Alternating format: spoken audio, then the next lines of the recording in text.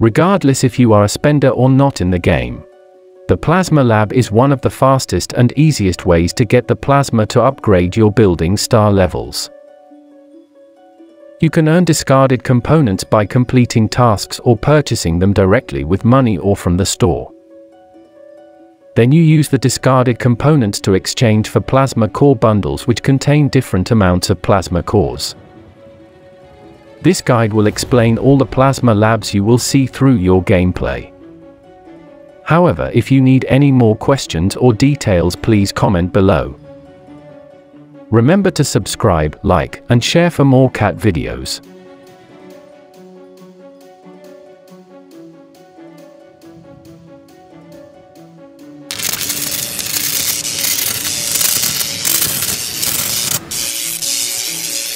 Discarded components. There are currently three ways to earn discarded components. Complete one-time weekly tasks. Consume 10 stamina to get one discarded component, 5 times. Gather 5 million resources to get one discarded component, 5 times.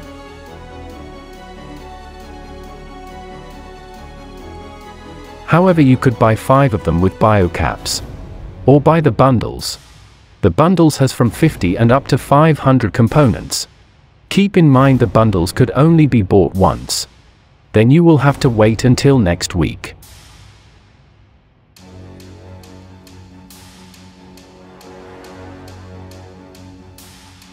Once you collect enough discarded components, you can then trade for the bundle you want.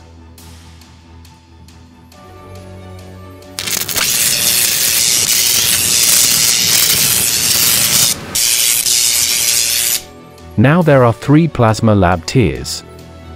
Each tier unlocks based on your state life. The older your state gets the better Plasma Lab tier unlocks. The three Plasma Labs are Plasma Lab,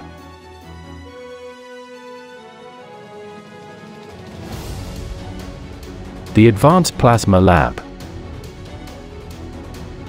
Finally, the Improved Plasma Lab. Each of those labs comes with five different levels of plasma bundles. From the simple and up to epic. Simple, common, uncommon, rare and epic bundles. You can buy each just once per week.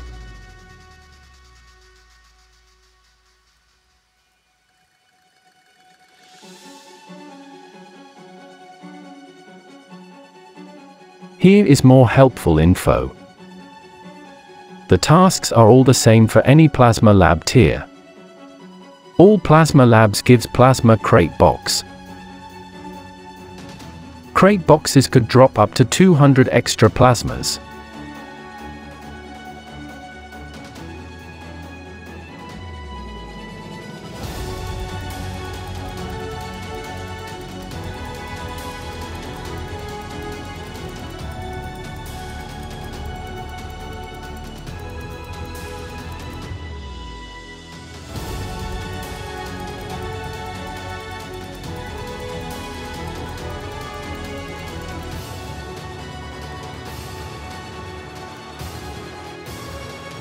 All labs comes on Friday and stays for two days.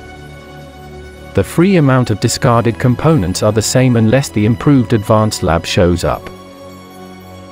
Then the task of quick access changes from 5 bought with biocaps into 10.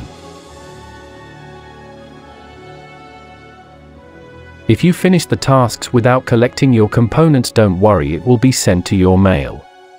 One more helpful tip is, Sometimes the Plasma Lab comes during the kill event in which you can't really farm safely during those events. So recommend you to prepare your farm marches to end as soon as the new day or reset of the plasma happens.